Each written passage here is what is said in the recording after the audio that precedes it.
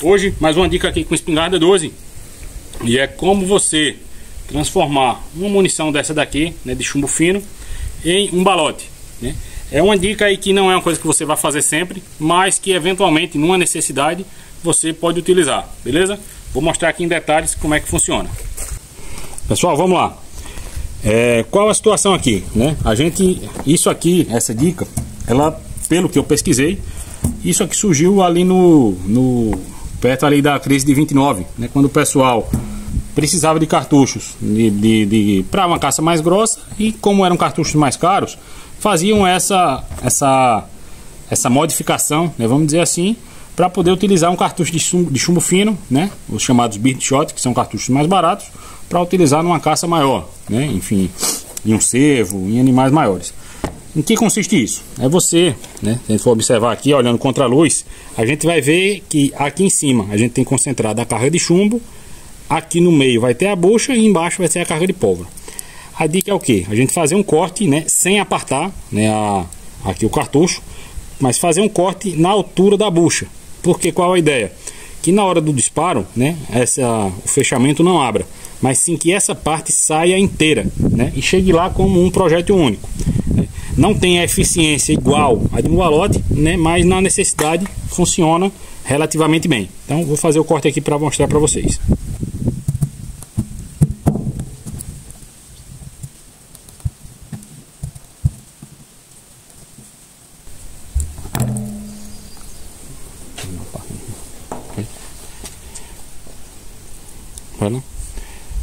Pronto, pessoal. Tá aqui, tá feito o corte, né? A gente não separou o cartucho de vez.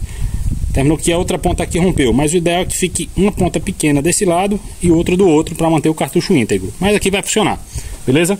Vamos mostrar ali no alvo de papel para vocês verem que essa carga vai chegar inteira lá no alvo. Pessoal, tá aqui o cartucho, eu falei para vocês com o corte, né? Vamos fazer aqui o disparo naquele alvo, tá mais ou menos 8 metros. Vamos ver como é que é o desempenho dele lá no alto. São pista quente. Vamos lá. Outra coisa aqui, ó. Essa parte, né, dificilmente você vai conseguir extrair ela de forma adequada. Né, a parte que fica do cartucho. Ela ficou presa ali. Então, se estiver utilizando em pump, você não vai conseguir utilizar vários de uma vez. Né? Lembra, é só o cartucho que está na câmara e dispara. Tranquilo?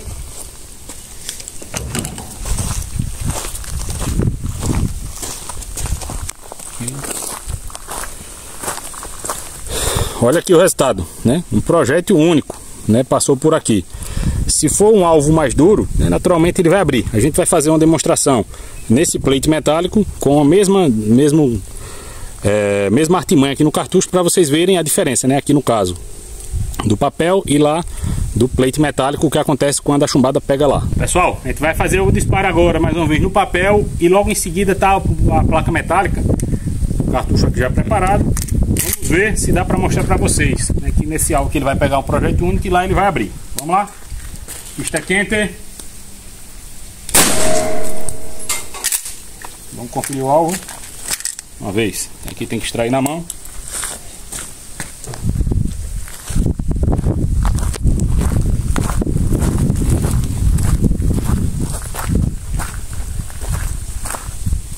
Primeiro alvo, beleza. Aqui não deu para ficar, não, não ficou muito claro, né, a chumbada, mas deu para ver que ela pegou aqui, né, bem no centro. O ideal aqui era que a gente tivesse um objeto né, intermediário mais mole para ver o desempenho, mas acho que já deu para ter uma noção aqui do resultado. A gente já mostrou ali no papel o desempenho, né, no metal não ficou muito claro. Vamos atirar agora naquele tronco, né, dá para estar numa distância ali de uns 12 metros mais ou menos. Cartuchinho já preparado mais uma vez. Vamos lá. Pista quente.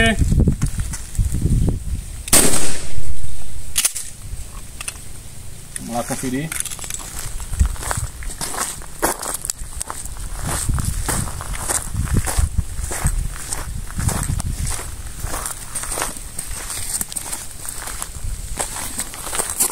E aqui ele pegou, né? Ou seja, entrou a chumbada e entrou também o cartucho, né? Dá para ver que ele acompanha até o alvo. Né? Não penetrou tanto, não penetrou tanto, né? Que a madeira tá bem dura ainda, mas com certeza um desempenho muito melhor do que se a gente atirasse diretamente com o cartucho de chumbo fino. Finalizando aqui, vocês viram o, resultado dos testes, né? tanto aqui no papel como lá na, na de madeira, os balotes caipira, balote redneck, tem alguns, alguns nomes aí. É uma coisa para se usar sempre? Não. Né? O ideal é que você, precisando, utilize de fato o balote. Mas numa situação de emergência, enfim, de sobrevivência, que você precise realmente de uma munição mais potente e só tem disponível cartucho de chumbo fino, né? cartucho para aves, vamos dizer assim, é uma saída viável. Né? Não sei se danifica a arma a longo prazo, né? Eu creio que não, né? Principalmente se a gente utilizar o choque cilíndrico, choques, choques mais apertados. Não recomendo, né? Apesar de que eu sei que tem gente que usa, mas eu não recomendo, porque aí realmente a gente já pode ter um excesso de pressão. Mas enfim, esse foi o resultado. E vocês, já conheciam essa técnica? Deixa aí nos comentários. Um abraço, até mais.